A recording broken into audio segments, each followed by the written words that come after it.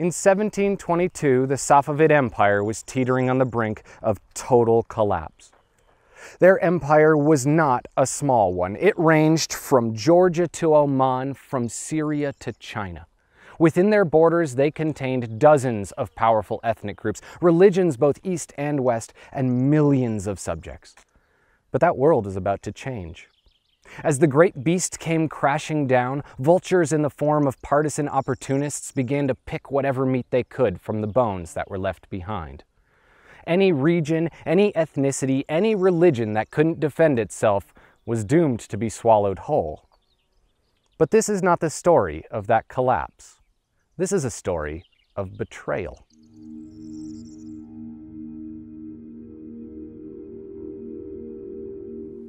This video, if nothing else, serves to solidify the theme of our Armenia series, Unite or Die.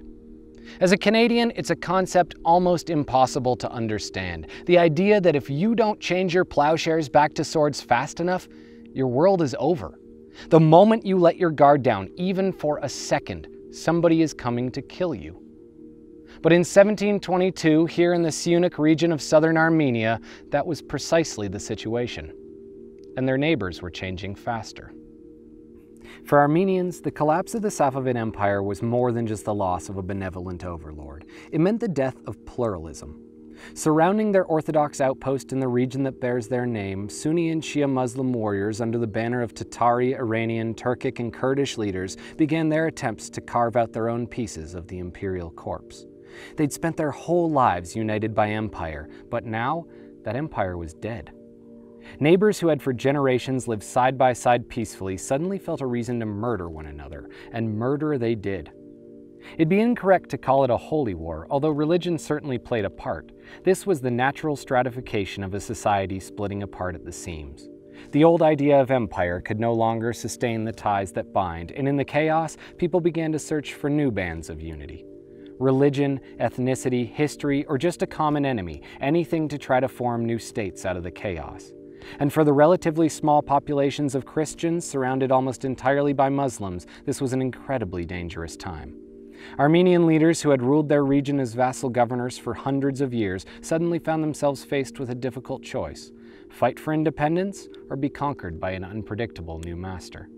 But just because conflict arrives on your doorstep doesn't mean you're ready to take part in it.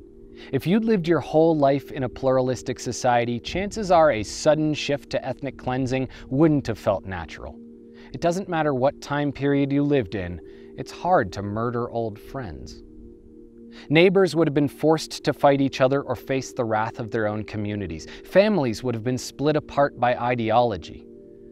In a few short years, this region would have gone from having citizens of a self-governing ethnic mix to divided groups willing to cut each other's throats. But the problem was more than just internal. Periods of unrest are always a good time to invade, and none of the warring separatists saw the writing just behind the wall. You stay united or die. Outside their increasingly nebulous borders, a giant loomed. The Ottomans took note of their collapsing rival and began gobbling up any lands that couldn't defend themselves. With their empire at nearly its highest point, there was little on earth that could stand in their way. With the Iranian army spread thin across their imploding empire, any citizens who wanted to remain free from Ottoman control would have to face the invaders themselves. But that would take agreeing to fight together. So if you were a villager here in 1722, what would you do? Would you stand up and fight back against the aggressor you knew you couldn't beat? Or would you attempt to convince your neighbors to stop the infighting and band together? Or would you accept your fate and hope they didn't kill you when they took your land? For the Armenians here in the south, there was no clear answer. Different regions, families, and people each came to different conclusions. Then, as now, as ever, society found that uniting is easier said than done. Many felt it would simply lead to a more wholesale slaughter. But for those who chose to fight, they knew they'd need help. They couldn't win this alone. If they were unable to convince their neighbors to fight together, they'd have to find someone else who would. The local governors begged the king of Georgia, then their closest Christian neighbor, to send them a miracle. And in the eyes of many, he delivered. An Armenian soldier by the name of David Bek was sent down with 2,000 men ready to die for freedom, for unity. Despite their small number, their zealotry drove them to feats nearly unimaginable. First, they stopped the Iranians who had returned to take back control. Sending them limping away in defeat, they turned their attention to the Turkish advance. The Ottomans had sent more troops to this region than it had civilians, and in spite of all odds, for a few years, Bek's soldiers held them back. With each battle, more men would die, and with each small victory, more men would unite behind his banner. But they were just the appetizer. The true force had yet to come. In 1727, an unthinkably large army arrived in the Zangezur. 70,000 Turkish troops amassed around what is now the modern city of Kapan. Bek and his 300 soldiers awaited their death in the fortress at Halidzor, but they refused to surrender. After seven days, they began to starve. Caught off guard, they hadn't prepared to defend the fort against a siege. It was clear to them that they were all going to die. They were outnumbered 230 to 1. But if they were going to die, they were going to die fighting. Nobody would say they didn't give everything to the cause. Bek's second in command, the tactician Mkhitar, gave one final speech. Don't be afraid. Follow us to the end and die bravely. It's better to die with courage outside these gates than stay and witness the death of our family and friends within. And with that, they opened the gates and rushed the Turkish lines, 300 men crashing into 70,000. And again, a miracle. The Turks couldn't understand their plan. They surely must have thought the Armenians had a trick up their sleeve. Why else would they commit such a clear act of suicide so early in the siege? The feeling of surprise quickly gave way to fear, and as the fear spread through the lines, men began to turn and run.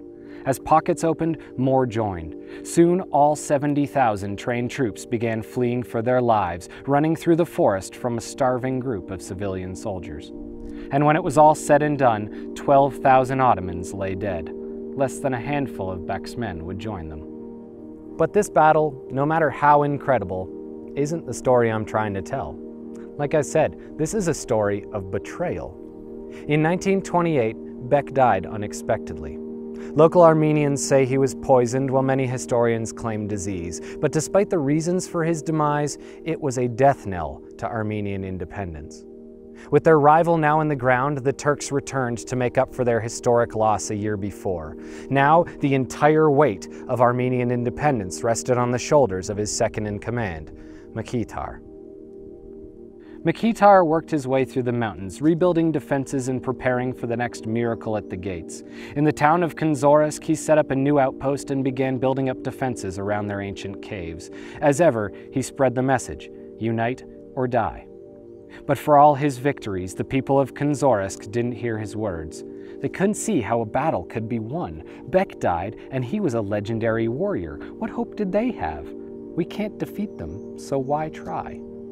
And it's hard to blame them for their position. Courage isn't an easy thing to achieve when you're staring down the barrel of a gun. Just because conflict arrives on your doorstep doesn't mean you're ready to take part.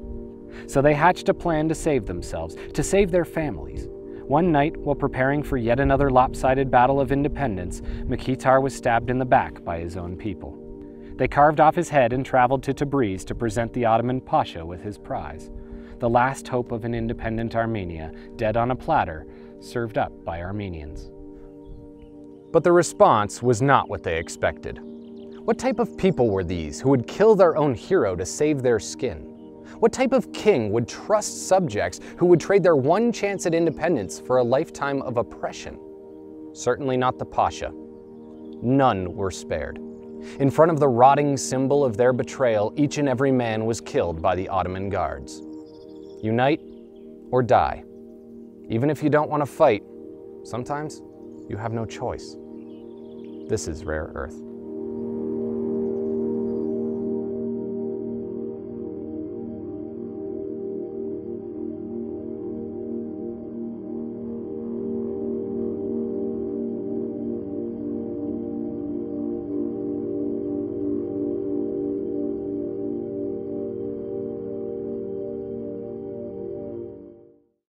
The region of Syunik is so cool. It is so beautiful. There's not a lot here, but I really recommend you come and see it. Do not go to the town of Davutbek. It's uh, not really worth it, but you should see Syunik province. It's gorgeous here. Unbelievable. If you saw the drone shots, they're pretty much all from here. Enjoy, guys.